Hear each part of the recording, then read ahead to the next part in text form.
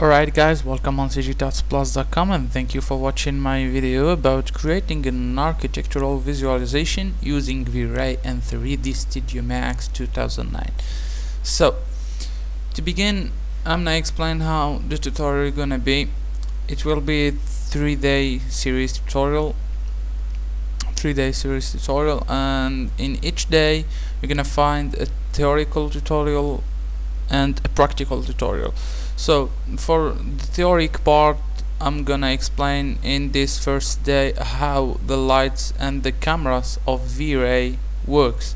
So if we enable V-Ray in our rendering setup so by clicking F10 or going to rendering and render setup here we can scroll down and choose and on the assign renderer rollout click on this button and choose V-Ray.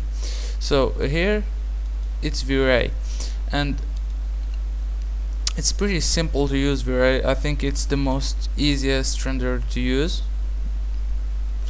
according uh, or besides the scanline renderer so if we go to the lights tab on V-Ray you can scroll down here and choose V-Ray and here you have V-Ray light V-Ray IES and V-Ray Sun. I'm gonna concentrate on the V-Ray light now and then I'm gonna go to the V-Ray Sun.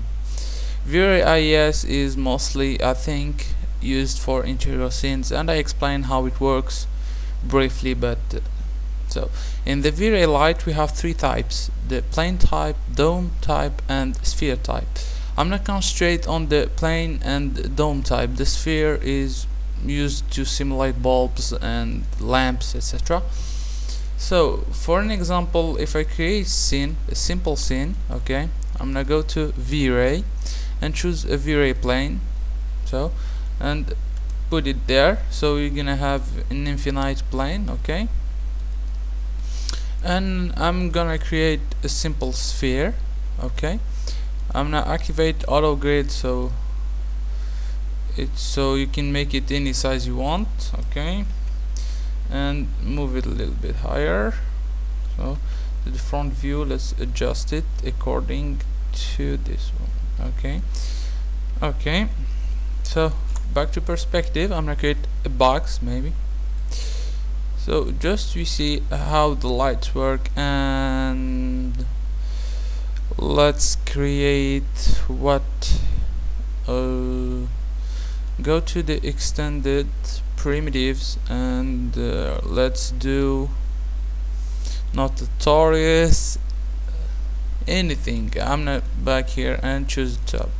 Tube or something like this. Okay. Just don't need this one. And just we have smooth and nice edges. And if we render so now show the save frame. So have an idea of what our image gonna look like okay? And hit render or F9 and here it is. You can see that it's pretty simple and it, and it's ugly if I can say so. So press F10 again and I'm now activate the little option which is the indirect illumination. And this this pretty simple to use and provides a lot of techniques or tweaking to get nice and realistic renders. So if it's well parametered so to get into it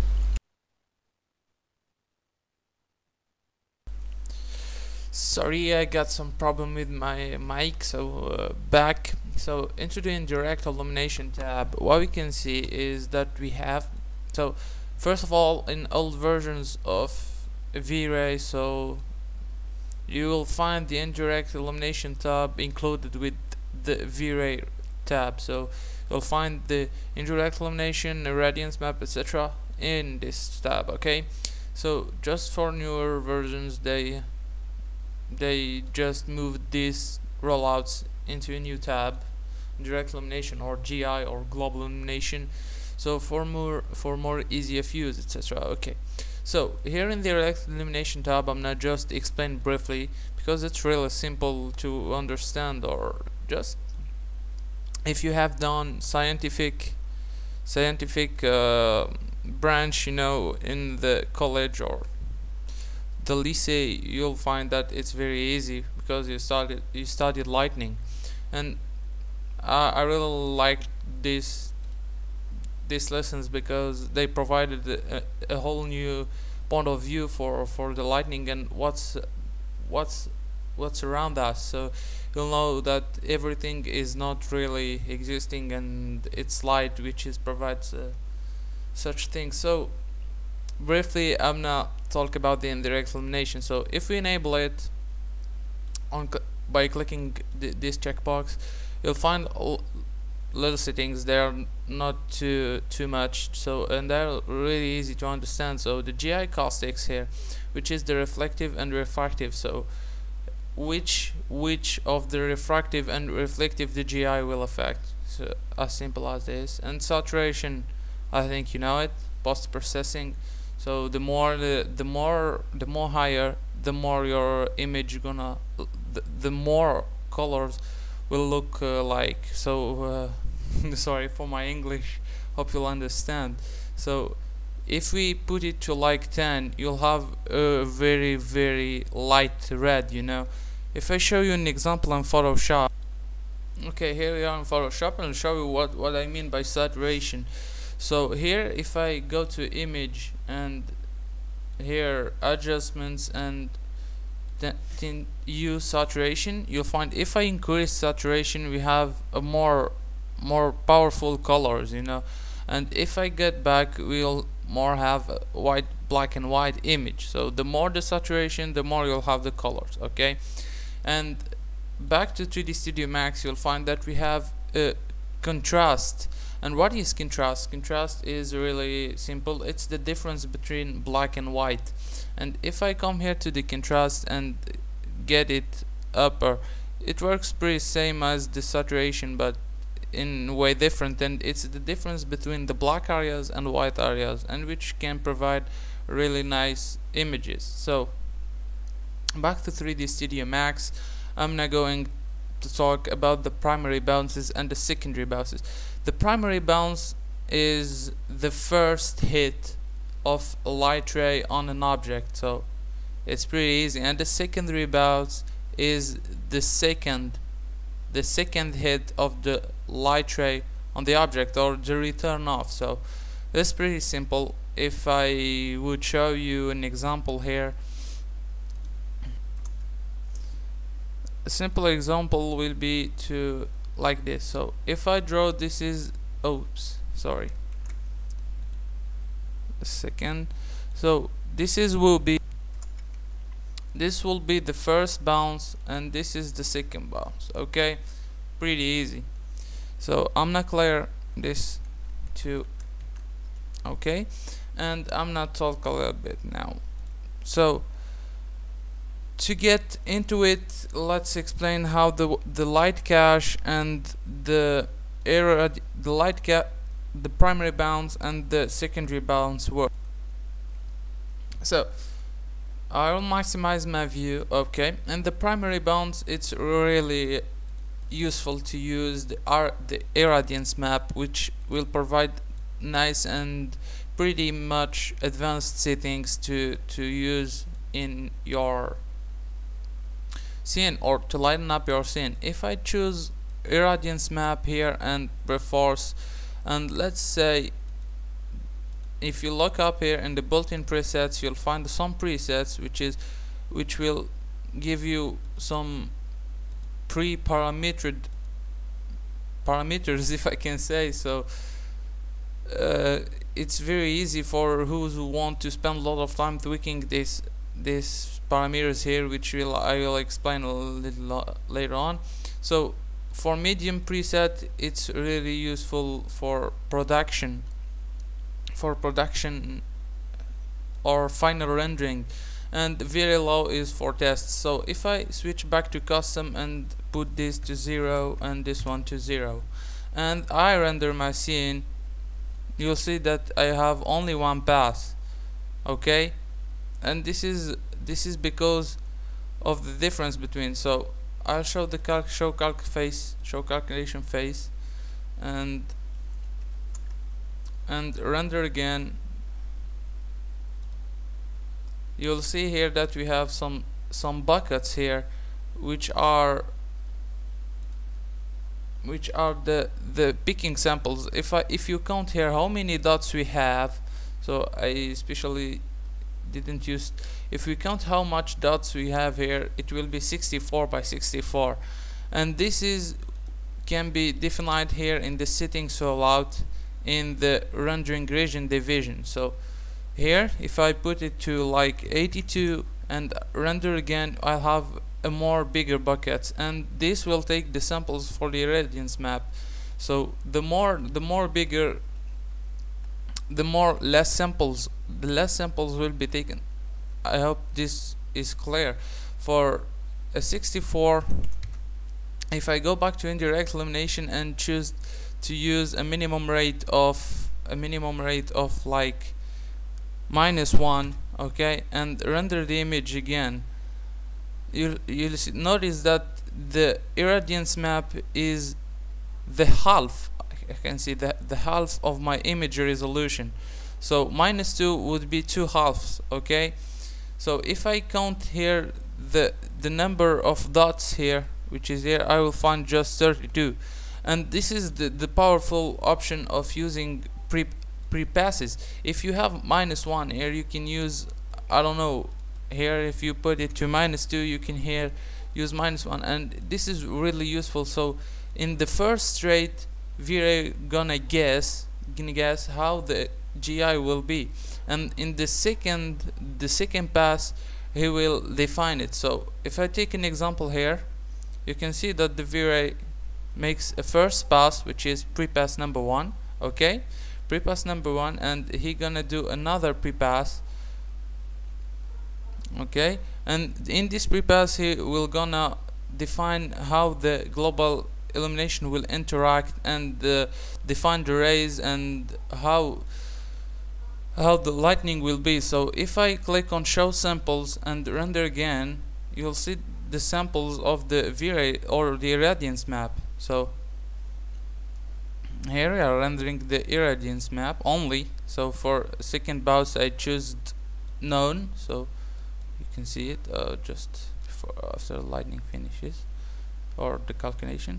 So if you if you can see here is the here is the the samples that the irradiance map used to lighten up my scene or to to to work with GI so if I zoom here you'll notice that we have a lot of samples into the edges or on the object and this this is because of the primary bounce so here it is the primary bounce V-ray guesses how the lights or the the rays will interact with objects in the first in or in the first and second pre-pass. And the second bounce will also use these informations to render the final image. So or or the secondary bounce will be first being used so V-Rays gets an idea of how GI will work and the irradiance map will then use it to render the final image. And a lot the more the passes are used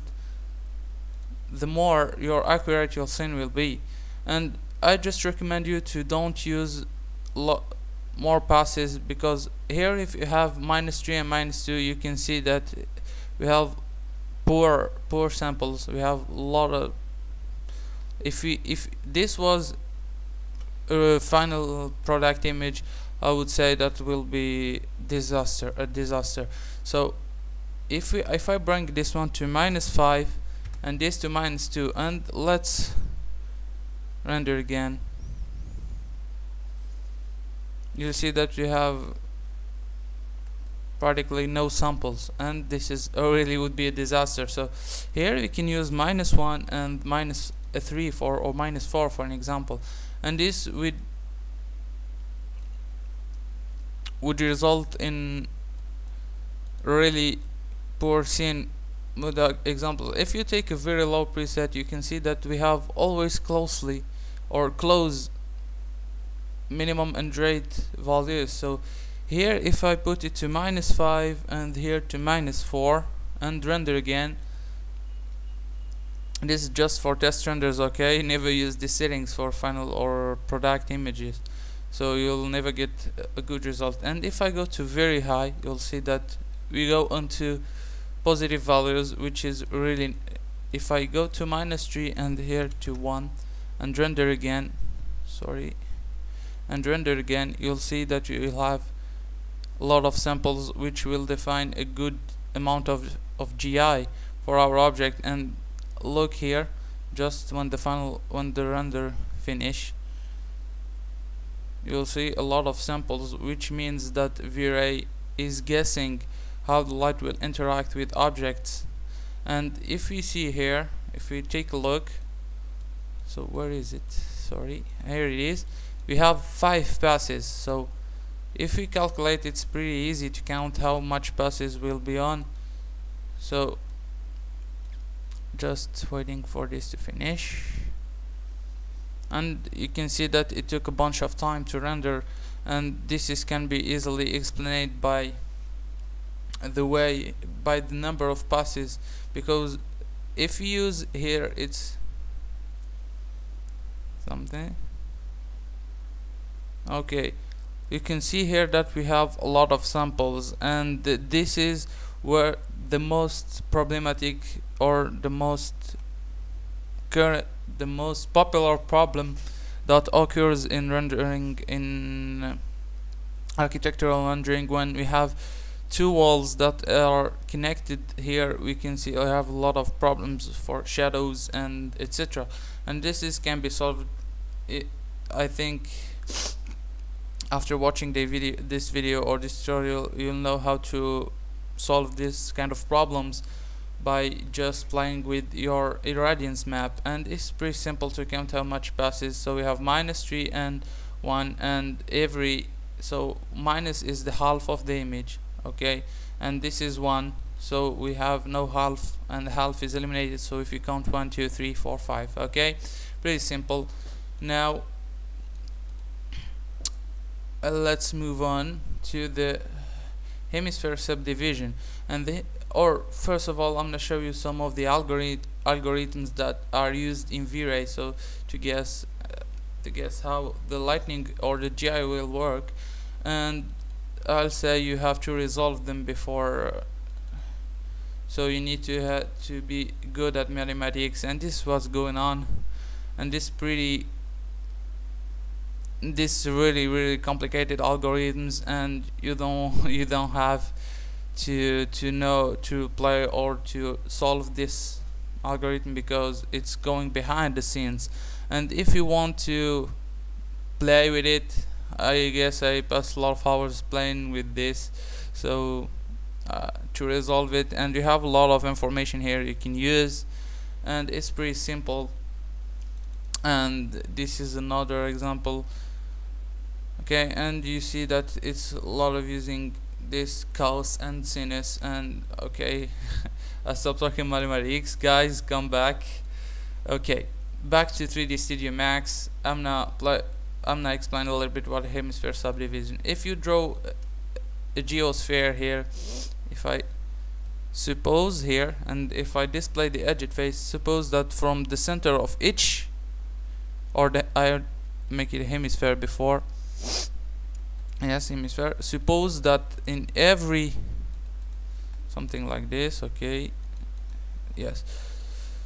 Suppose in every center of these triangles there will there will be a ray. So the more rays the more accurate your image will be. As simple as this. So if you have a nice or sorry if you have a good amount of hemisphere. If I take this one to like I'm gonna use a very low preset and if I take this to I don't know 10 or so and render I think it's gonna be oh sorry second. So here in the V-Ray I'm now in the global switches don't render final image okay? So here you can see the amount of samples that are used in the the V-Ray so layer values like 2 okay and back to render final image okay and render again and we'll show the indirect light direct light. And if you can see here because we have known if I put it to light cache and render again I think it's gonna have some so so back to V-Ray I have some problems there with the PC sorry. Uh, here as I said we were in the hemisphere subdivisions and as I said there will be imagine a sphere or geosphere and from each polygon or triangle from the center it will be ray. The more the more ray the more this value is the best the result will be okay and this is a really useful option so we can use it to increase your render quality and uh, it's really cool. The look here if I show you here you can see that we have a little weird image and this is because of the hemisphere subdivision.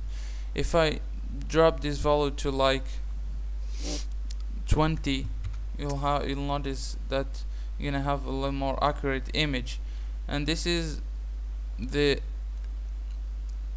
and this is the the the trick here is if I put it to 1 okay and render okay we'll have something like this and I'm, I'm gonna copy it minimize it and show samples and render again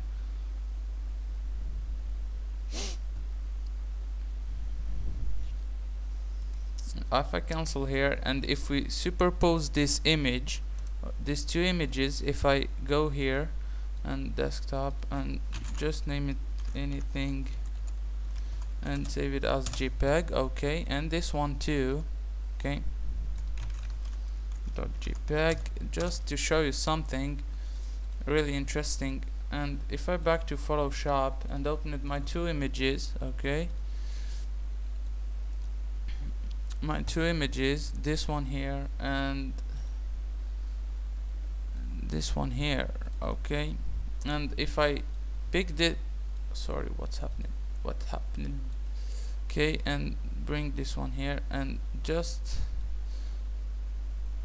and close this one okay? And I'm not superpose this so change the light mode to Lighten or just here Lighten. Okay you can see that the samples are placed in each point where you can see these light spots. If you take here this spot here I think it's like I call them cells so you can see. And it the sample is right in the middle. So here we have a lot of samples. So each point each sample is in the the middle of the the hem or the the cell in middle in the middle of each cell in the center. So the more you have the the sample the, the more samples you have and the more hemisphere you have the the more accurate your image will be. So I just advise you to don't go further than 30 for the hemisphere subdivision for production. So 30 40 maximum. So further will make your rendering take a lot of time. You can see and will not give a lot of changes and it's not what we want. We have we want to good good image result and less time rendering okay? So I spent a lot of time talking about irradiance map so we can move on. So the inter interpolation sample is pretty easy to understand. So the I have here which this is cells of an example hemisphere sampling. It's very simple and if you see we have each point goes from the center and it's a really good good drawing here for explaining how the hemisphere sampling it, it works okay? Now let's move on. Uh, I'll show you an example with a spline. If we take a circle here okay and draw it and back to the modify tab interpolation and move down these samples. The steps or the interpolation. So here at zero we have a square a perfect square. So the more steps the more accurate our circles will look okay? And this as simple as this. Now let's back to the light cache okay? The light cache here. So we use it usually as a secondary bounce and is very accurate. So to explain you how this works I'm gonna use it as the two okay? And render image with so you can see how this really works. So if I get the subdivisions to like 10 okay you'll see that we are back in in 80s with the this and 60-bit computers you know and uh, this looks really weird or can be used as a render image a style of image I think so. So the subdivisions will guess how much rays are coming. So the more you have subdivisions the more cells will be used I call them cells okay I don't know how to call them in in fact but I call them cells okay? So the more subdivisions you have the more samples. It's as simple as using a turbo smooth or mesh smooth on an object. So the more the more iterations you have the smoother your object will be. As simple as this. So if we go to 100 you'll notice that we have a more accurate image.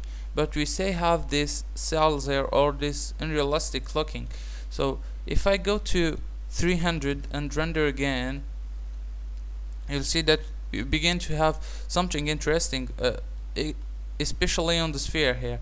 So back to 500 okay? I'm just getting up so you can see how it how it works okay?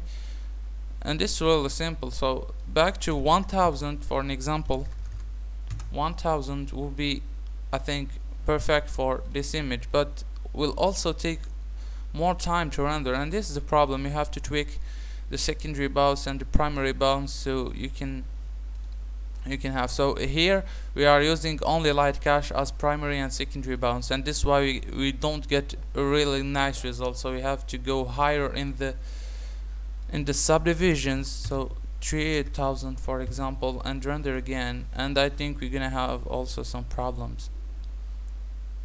Okay so it's taking like one minute to render so I pause the video. So here we are coming to the end and we render. And you can see that we got also an imperfect image. And this is because we're using the light cache as primary and secondary bounce and this won't work at all. So but just to give you an idea how this works the subdivisions works. Now for the simple size if I show show the calculation phase and don't render final image okay back to indirect illumination and render again you'll see that we have this is all samples okay? And to work with if I get this to like 5 okay 5 and render again okay you'll see that we have 25 samples if you can 1 2 3 4 da, da, da, da, 25 if I got got to 1 I'll have just one sample okay? 2 here it is. We're gonna have 4 samples okay? 4 we're gonna have 16 and so on. So uh, this is a nice idea how to understand how the light cache works. So if you for example if you get 64 by 48 image so how do you figure out how to use this? Uh, actually for small images or small project I use 100 and 100 is very effective. You can see it's pretty good can be improved but in a range of 100 200 it's really cool and can be really useful. Here 200 we can have nice nice image. And for for small projects or interior scenes I'll advise you to use higher values from 1000 to 2050 and no more. Because with 1000 you'll get in in in small scenes it's almost perfect you know? So if we render again and let it finish okay you have the final result right now okay? And this is why you have to apply with the subdivisions and this can really improve your image. For the sample size like I explained it in each cell there will be array and the more cells and the less sample size will be the more accurate your image will be. If I put this to 1 and render again you'll see uh, back here I'm not don't render final image okay? And render you'll see in each cell we'll have a array so if I put it to like 0 0 2 and render again you'll see that we have a more accurate image. And this because the if you have enough subdivisions to the sample size to use you'll have a, a smooth image. For a more clear idea if I put the subdivisions to 1 and use uh, 002 sample size this won't look realistic at all because we have only just subdivisions and we want a 002 sample size for each cell. So it's not logic. So we want to like 100 and this will give a, a really smooth result. And we, what what we are searching for. So I hope this was clear clear for you and you understand if you don't please pass commands I'll answer all your questions. So the number of passes will let you use all threads of your computer so or when you're using render farm you know. And for the number of passes will be or it's your computer which will if you have a core 2D or I uh, don't know how you say it in English C2D or core to the or something like this you can use eight threads four threads you know four threads will be nice. And this is can speed up your rendering times or or such thing. But if you have a quad core you can use uh, 16 I think. And here I don't think it it will it will not improve anything. But the more you have cores the more your you can use this number of passes. So I'm gonna use 8, 8 for CoreGU it's perfect. And I think we have seen everything here and we can switch to lights so right quickly I'm not gonna talk about light okay? The light are really useful lights for for getting those areas which don't receive enough light when using a sun or another type of light or like uh, in the Chris State I think tutorial on the Light Studio you can see that he used Light and this, they are perfect for this kind of lightning or maybe for windows okay? When you are rendering interior scenes I'll show you in the sample now. So in the perspective view I'm gonna create a light here over here okay? And what I want you to know that the lights uses to to emit light they use the half length and the half width. So they don't only emit sorry I'm gonna just change the settings for the rendering because I'm gonna use the irradiance map and light cache. So very very low. Put it to like 1D 15 maybe. And for the light cache for the light cache okay it's perfect. Now render the image. And why why V-Ray lights are not perfect for exterior lighting? Because actually they use attenuation. What is attenuation or this is what I call attenuation but uh, I don't really know how they call it in the the industry but I just give you an idea. Attenuation is that V-Ray what's happening is that sorry for this I got some problems. So is that the V oops is that the V-Ray lights use attenuation? And attenuation is the means that near object will be more lightened and far objects will be dark. So for exterior daylight rendering this won't look realistic at all because in in real life objects in in daylight will be lightened with the same intensity of lights because the sun is hitting all what's around so and the V-Ray lights uses the half length, the half width, and the attenuation system to provide smooth shadows and nice lamp lighting or or or night lighting if you want to. But for daylight exterior scenes, this won't look realistic at all. And let's see some of the parameters of the V-Ray light. So if I draw a V-Ray light in top view like this, okay, and move a little bit and something such thing and back to perspective view and try to see oh it's pointing a little bit down so here if I if I something so you can see the V-Ray light and the objects if we render like this you can see that it takes so let's it continue. Okay rapidly man go on.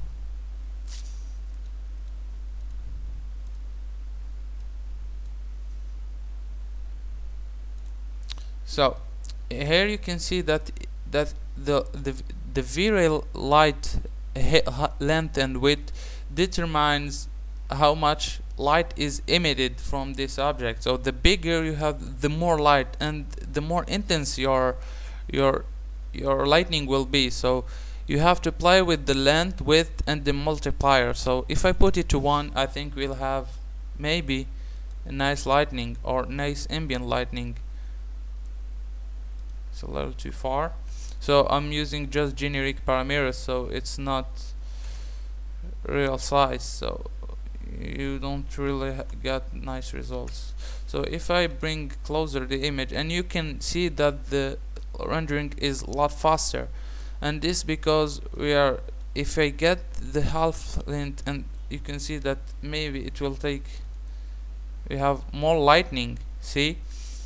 And this is a really pretty cool idea that you can use the half length and the half width to apply. So with the multiplier 500 500 so you can always try to find issues or solve some problems with using these parameters. So I think that's all to say about V-Ray lights okay?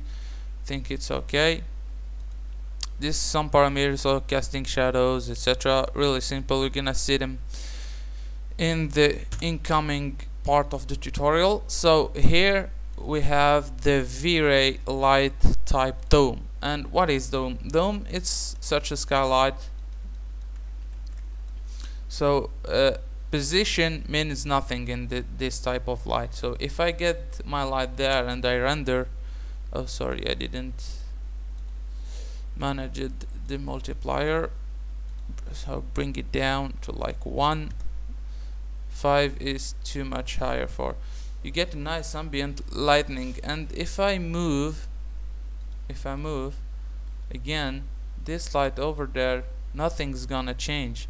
So if I uncheck show calculation phase and show calculation and render again you you'd see that nothing's uh, changed. Only the point of view because I zoomed a little bit nothing's changed. But the orientation of the light would determine the orientation of the shadow. So if I make this light something like this okay and render I would have a less illumination or because it is going behind the horizon line or under the horizon line. And if I move it something like this so it points a little bit further on top you can see that we get a darker image and this because it's going down.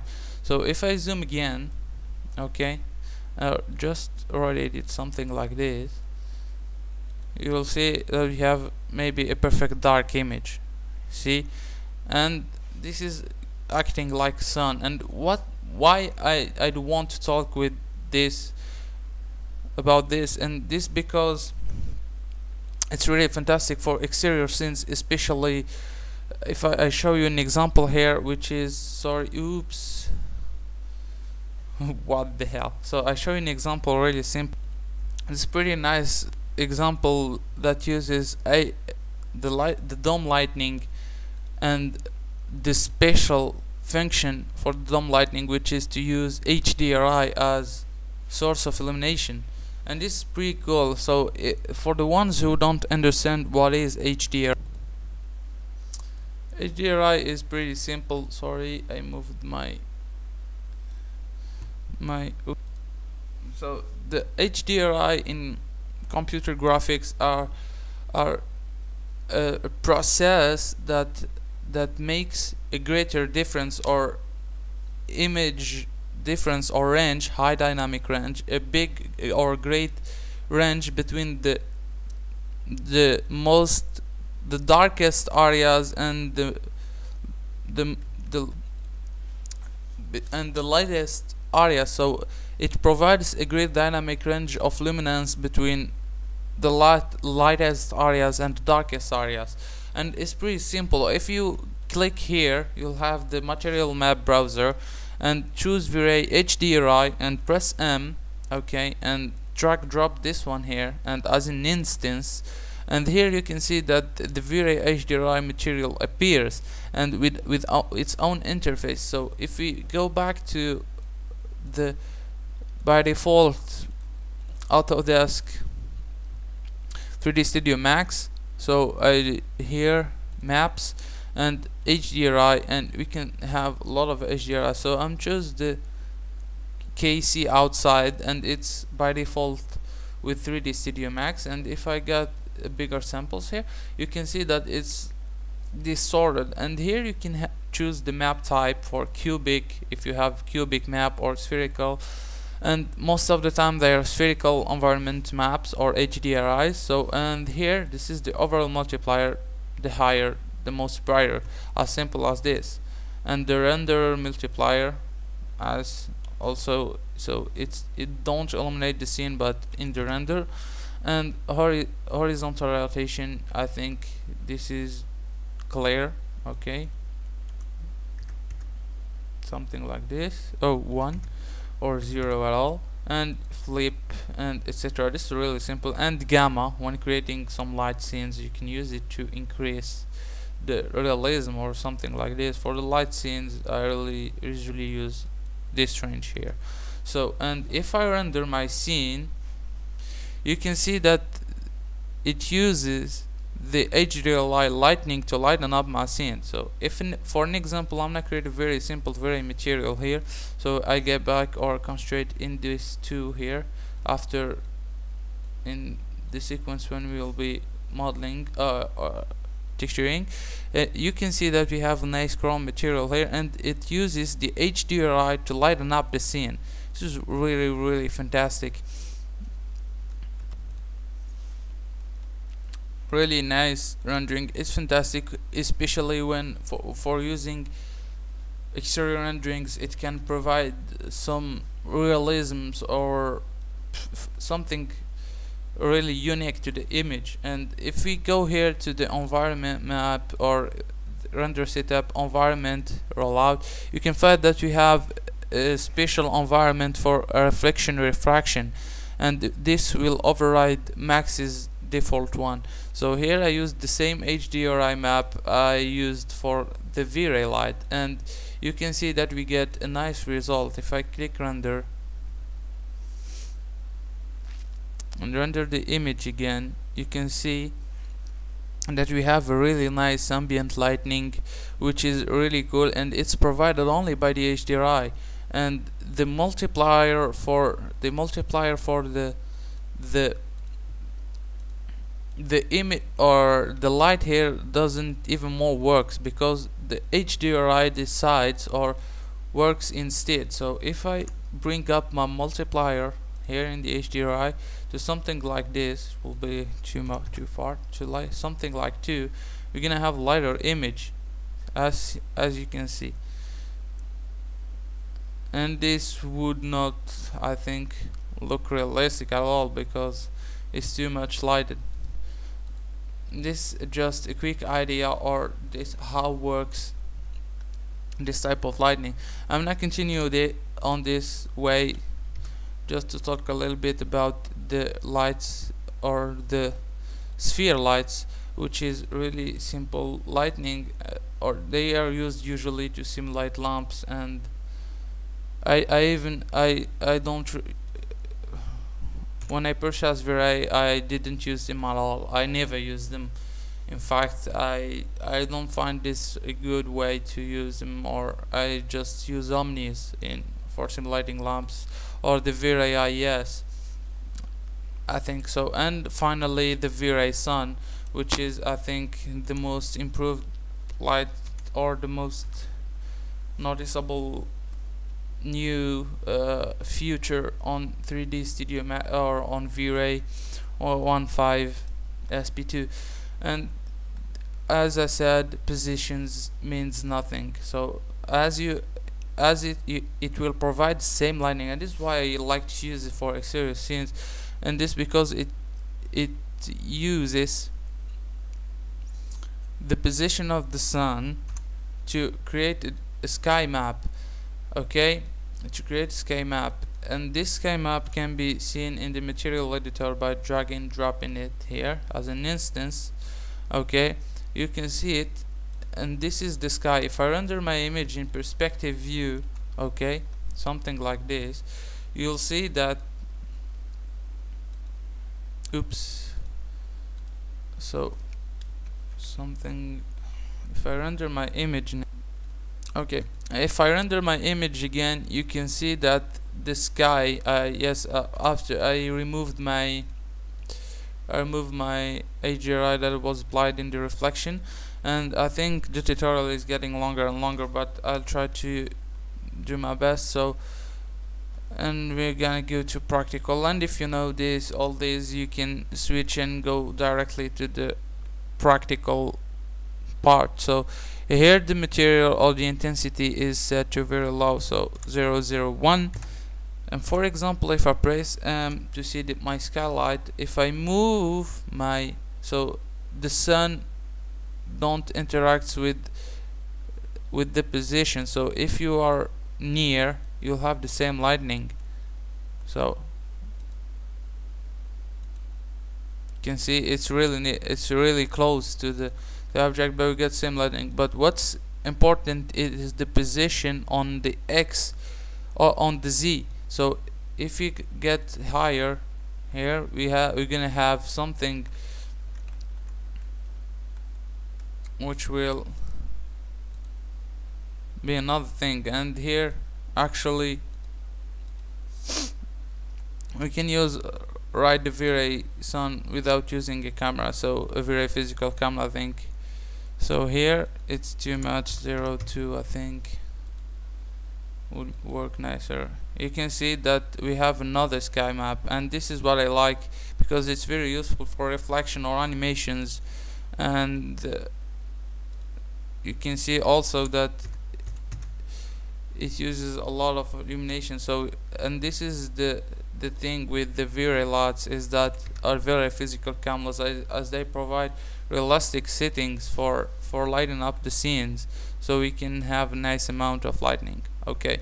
So by using the shutter speed and the ISO okay so I think we covered most of the topics there and we can go to the V-Ray physical camera or yes. If I let the intensity multiplier to 1 you'll see that will I'll have something like this and it we don't see anything. So I'm gonna use the V-Ray physical camera which is here. So I don't use the V-Ray dome camera or anything else. I just use it because I like it and I so that it really works so I get it a little up.